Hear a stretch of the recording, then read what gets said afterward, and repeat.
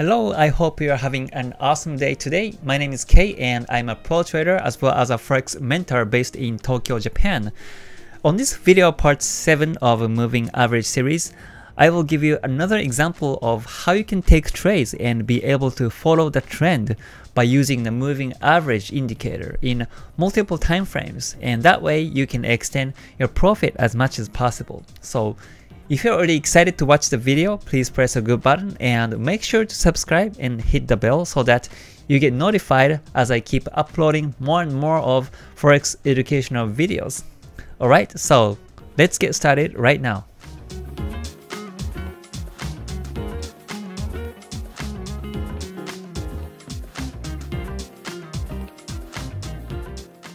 Alright, again, let me recall the step-by-step -step procedure of how you can analyze charts in multiple time frames by the moving average.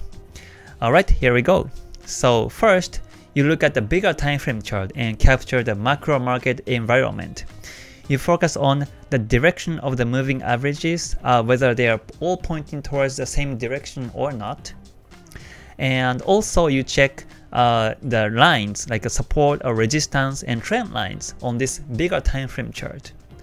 Then you go down to the lower time frame chart and check the direction of the moving averages as well and see if they are all pointing towards the same direction or not. And also draw lines for further confirmations of the trading edge on the market, right?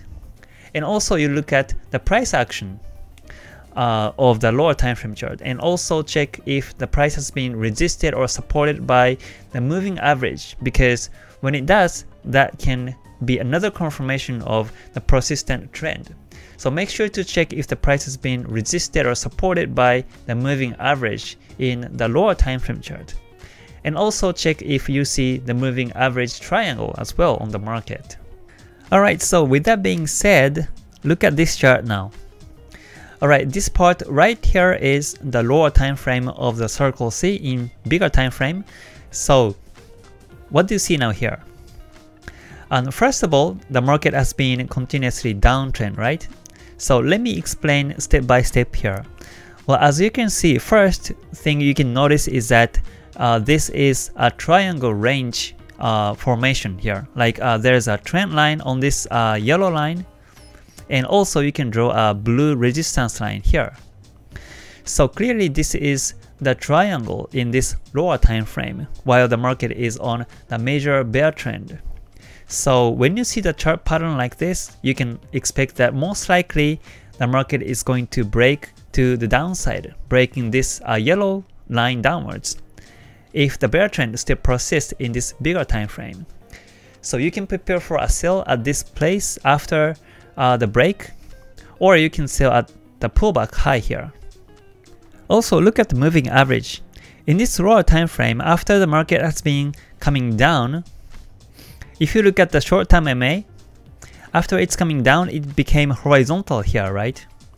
Uh, the mid-term MA and the long-term MA are going down, but this short-term MA is horizontal here. So in this case, what you can also expect is that the market might consolidate for a while, and after the consolidation, it might be resisted by one of these two MAs and continues the bear momentum. Well, in this case, before it touches the midterm or long-term MA, the price just went downwards. But when you are looking at the chart within the range somewhere here, you can prepare for a sell when the price touches on either MAs and that could be a trading edge at that time. In this case, after the price broke this yellow line downwards, it came back up and now it's resisted by this uh, yellow line. And also the price level matches with the long-term and mid-term MAs. So that gives you more confirmation that the price might go down from this point. So this point right here was also a great sell chance here. So remember, when you look at the bigger time frame and when you see all the moving averages, the short and mid and long term are pointing all down, when you see that kind of uh, setup on the market, that means the market is a steady bear trend. And in that case, you only look for a place to sell.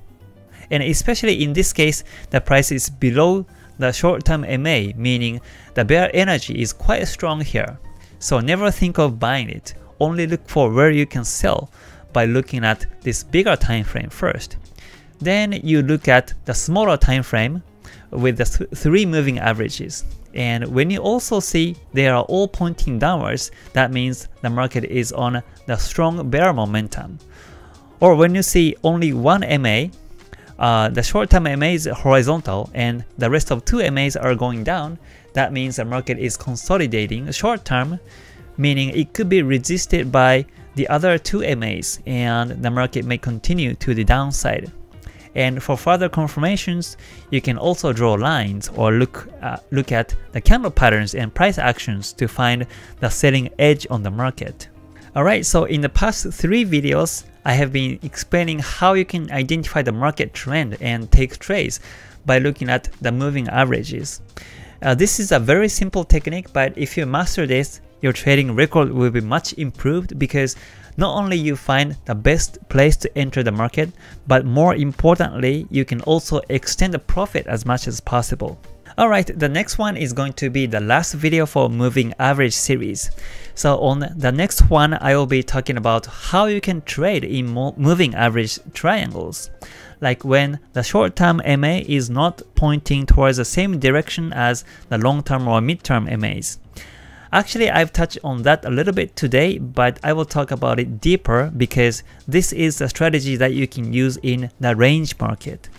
Usually the moving average becomes effective uh, when it comes to a trend market, but uh, the next one is going to be on how you can use it in a range market. It might be a little bit advanced technique compared to the trend follow strategy by the MA, but I hope you can also learn the technique so that you find more trading chances on the market. So if you don't want to miss the next one, make sure to subscribe and hit the bell button and turn the notification on so that you get notified when it's uploaded. And also, if you liked today's video, kindly press a good button too. Alright, so I will see you in the next one. Stay gold. またね。